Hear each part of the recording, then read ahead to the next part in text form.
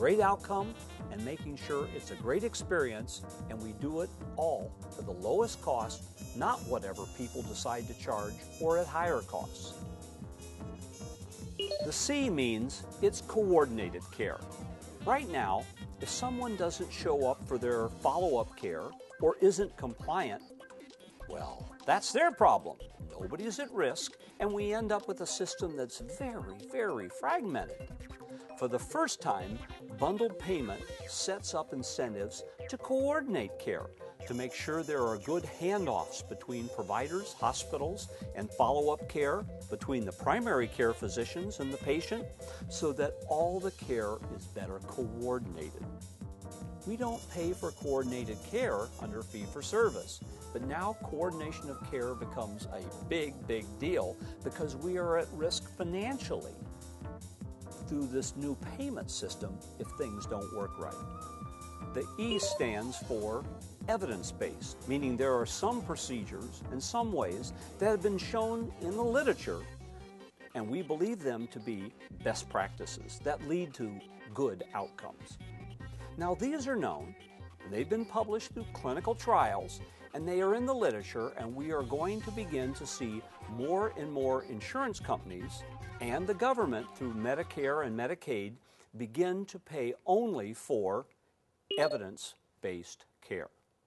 If you want to stay in the hospital an extra day or two, great, but we're not going to pay for it.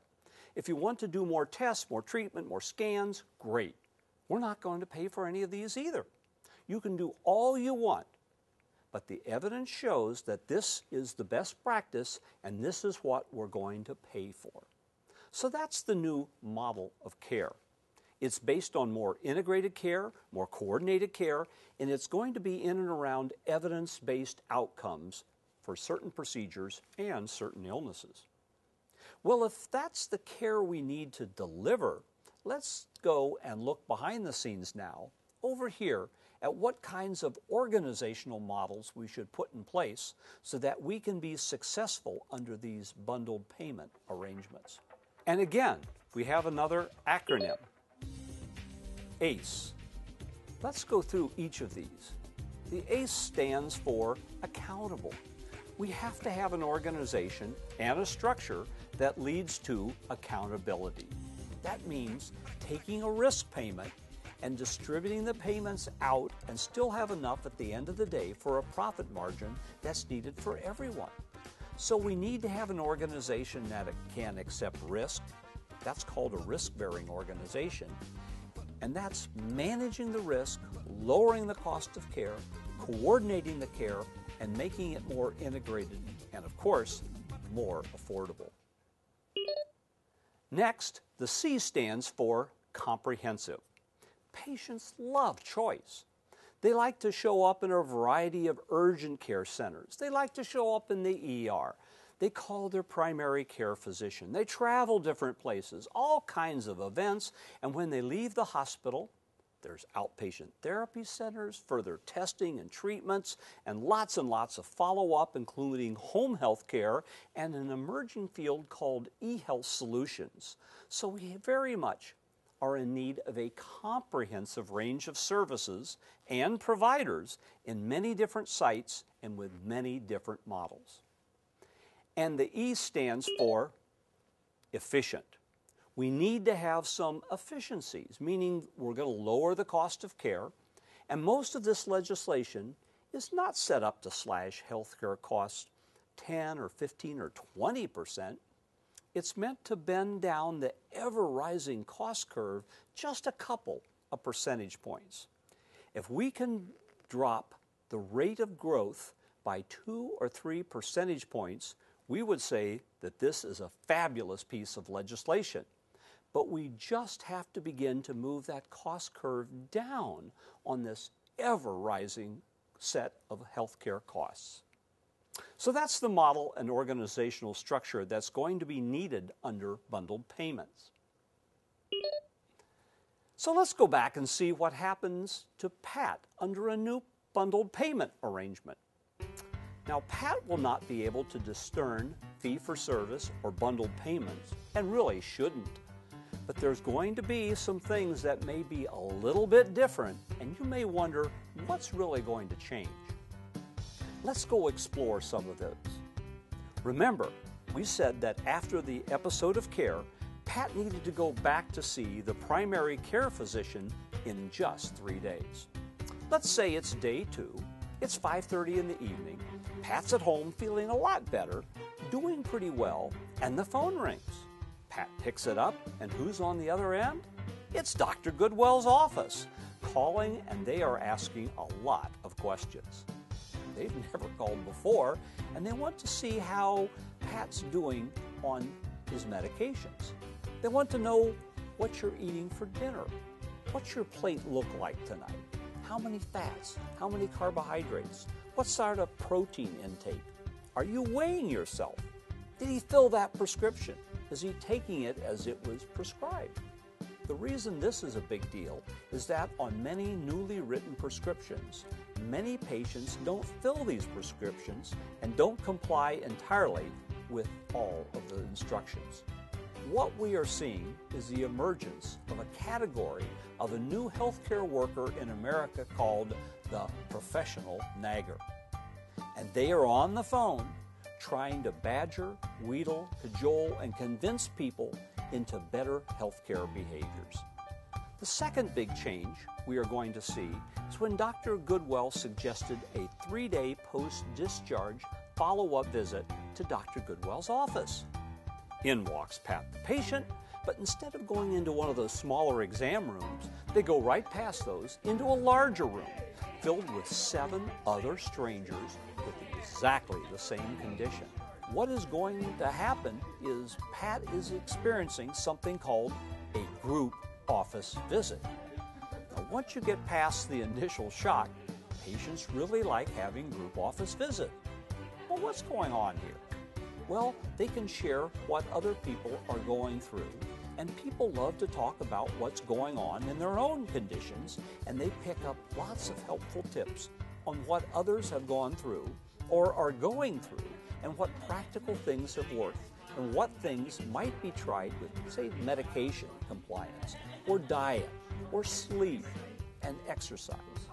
Now, these visits are always monitored by a nurse so there's no bad information. But a group office visit shows a high degree of patient compliance and patient satisfaction. Now, the third change is something that's called the Intel Health Guide. It's a device that sits in people's homes that helps them manage their health care and what they are going through to achieve even greater compliance. Every time Pat steps on that bathroom scales, Immediately, that information goes directly to Dr. Goodwell's office and into the patient's medical record. Likewise, they put a blood pressure cuff on a few times a day, and it too goes directly there as well. There are embedded algorithms, and when any of these conditions get out of compliance, a phone call is made from Dr. Goodwell's office to the patient asking, Hey, what's going on? Now, is this very cost effective? Under fee for service, it is not very cost effective.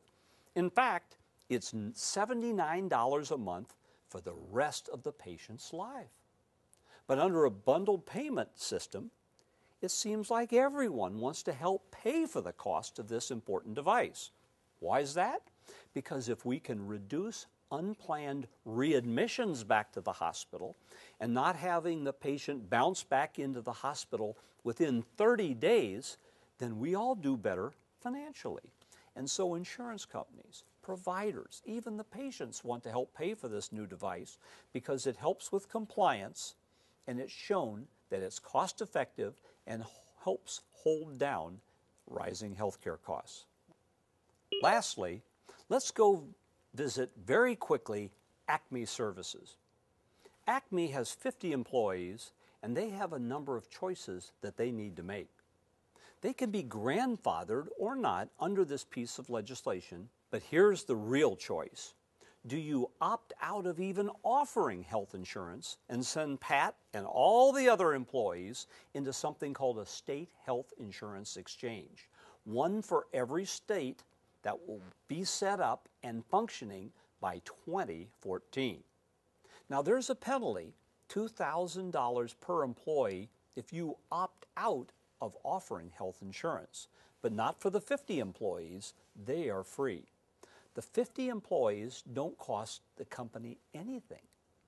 So we've run the numbers, and for Acme, if they decide to opt out of offering health insurance, they can save $94,000 a year and be able to give Pat and all the employees a dollar hour raise. Well, there are two things to finish up. Number one, as we went behind the scenes on the payment side and we moved from fee for service to bundled payment systems, there is still one more option. That is full capitation. This is where we ask doctors and hospitals to be fully at risk for anything that would happen to Pat. We are paid so much a month to keep Pat healthy.